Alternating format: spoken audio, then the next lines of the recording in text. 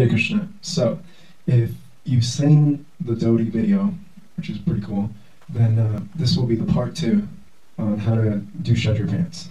So, um, basically, I'm wearing them right now. This is how it's going to look like. And uh, they're pretty pr- practical. The Kshatris used to use them for fighting, for uh, riding on a horse. They're pretty much pants made with dhotis. You can kick, you can do a little bit of yoga. Um, okay, so let's do this. So, uh, we have a belt piece on here, which we'll uh, take off. So, pretty much what I've done is I've rolled my dhoti on. Now, if you don't know how to roll a dhoti or tie knot, uh, go check the dhoti video that I did a couple months ago. It's uh, it's really nice. I'll show you how to roll the dhoti and how to put on a dhoti in various ways. Okay, so that that would be how to roll a dhoti on. Then uh, the next part we want to do is measure the length of the dhoti. So when you roll your dhoti on, make sure you're you you roll it evenly so that there's equal length on both sides left. So in a normal dhoti, the back pleats would be a little shorter and you would leave more for the front pleats. But on the Kshatriya, dho- Kshatriya pants, we want to keep the same length. Next thing you want to do is, um, if see if we were to just put it under their like back pleats and put it on like this, it would become too too big, too stuffy. So what we want to do is wrap it once around the legs so that you get what what would be the the modern um, tight pants or you know something like that.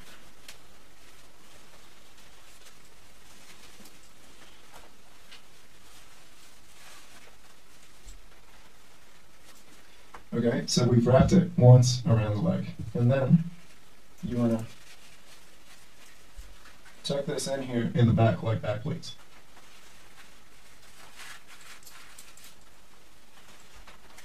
Now we want to do the same thing on the other side.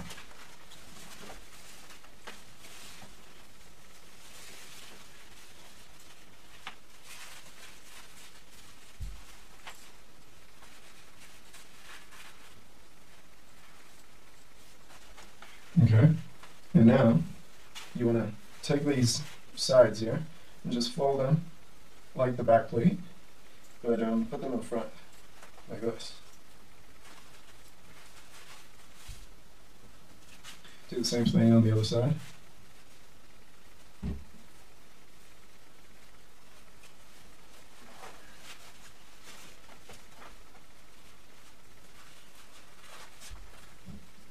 Then tuck in the sides all around.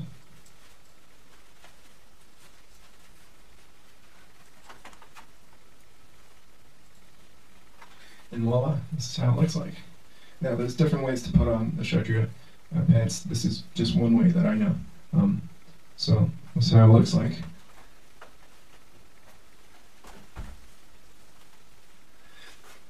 Now we could just leave it like this, but it, it looks a little unfinished, especially because we don't just want to have pants. We, we want to have something that looks pretty good, like like what the Kshatriyas used to have. So we're gonna put it on the belt piece.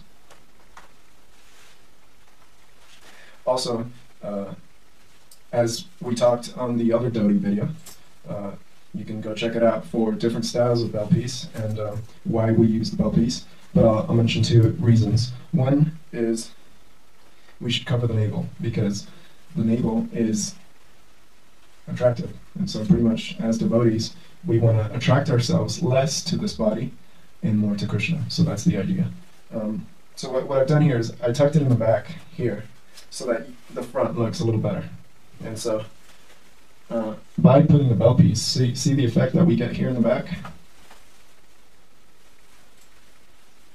It just kind of looks nice. And then, okay, the uh, another good reason for wearing a belt piece is you can tuck things in your belt piece, like your phone, your bead bag. It's just really practical, especially because dhotis don't have uh, pockets, so the belt piece is great as a pocket. And then we just want to tuck it in here.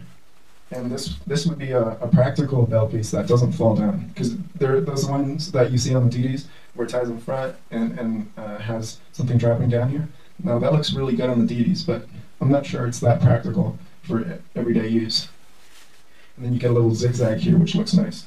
So that is the um, Kshatriya pants and with the belt piece, and then uh, you can put a, a kurta on or a nice cheddar.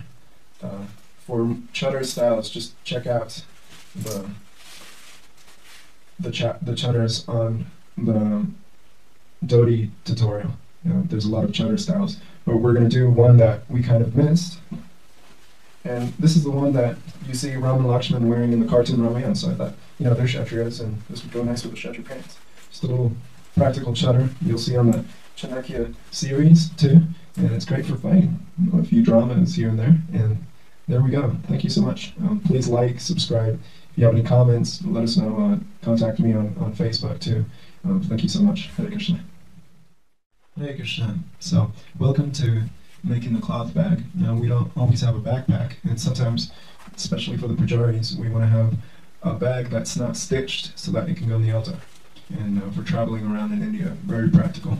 So what we have here is a chutter folded into a square, but it doesn't have to be a chutter, it can just be a, a square. Now the good thing about folding a chutter is you'll get a double layer so the cloth won't break. Also, um, rectangles are good. They might even be better than a square. So all we're doing really is tying a knot here.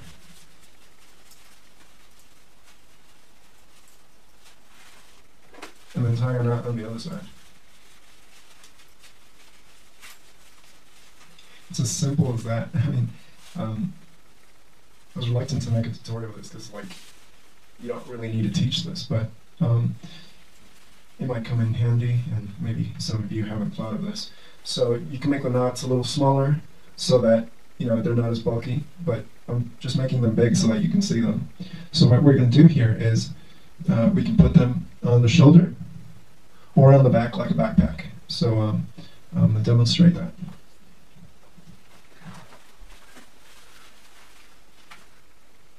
So this would be the the shoulder one, and um, you'll see that a lot with sannyasis in India. And now we're going to do the backpack.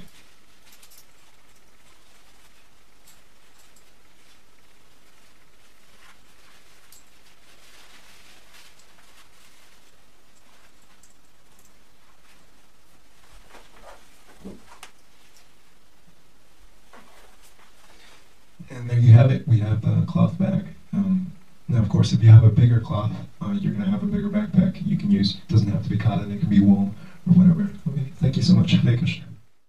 Hare Krishna. So, we've done the Kshatriya pants with a belt piece. You can put your chutter however you like.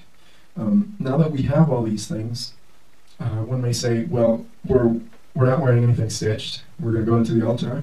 But wait a minute, our bead bags are stitched, right? Now, I have nothing against stitched bead bags. They're very beautiful. And in fact, the, the unstitched bead bag doesn't look that great. Uh, but its purpose isn't to look you know, to be attractive. The purpose of it is when you go on the altar or doing yagyas and like that, or if the worst comes to it, the end of the world, uh, the end of the economy, people stop making uh, stitched bead bags. Well, you don't have to freak out because you can still do the, your japa. All right. So we're just gonna uh, learn how to do this, and it's actually pretty exciting. So let's go ahead and get started.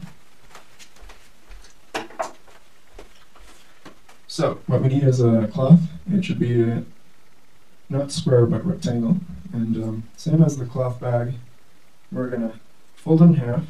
And now what, what we need to calculate is that the, the side where you put your hand in to chant mm, should be bigger. And the one where your index finger is going to come out uh, should be smaller. So what we're doing here is we're folding the cloth a little bit like that.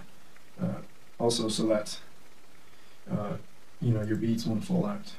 And um, I might twist it a little bit here and uh, just make a nice strong knot.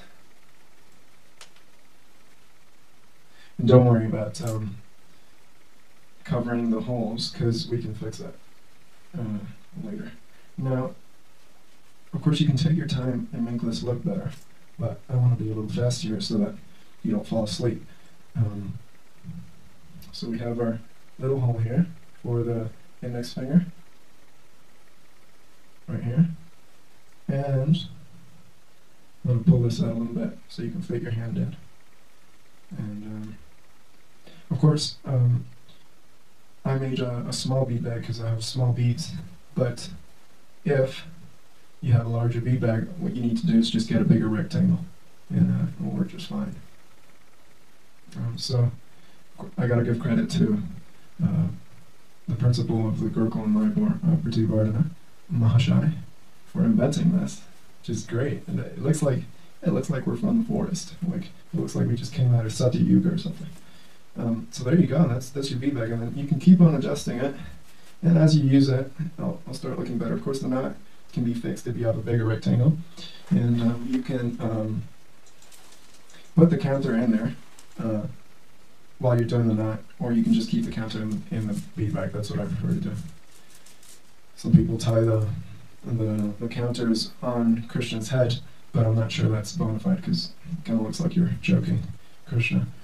Um, anyhow, so there you have your beads and your bead bag, and um, we're ready to do some japa. Hare Krishna, Hare Krishna, Krishna Krishna, Hare Hare, Hare Rama, Hare Rama, Rama, Hare Hare. Okay, uh, 16 downs run, and we can put the bead bag here, go to service, and continue chanting. Thank you so much. Um, again, you know, if you have a chance to go visit the Gurukul in Mayapur, do so. Uh, you can learn so much there. Give a nice donation to them.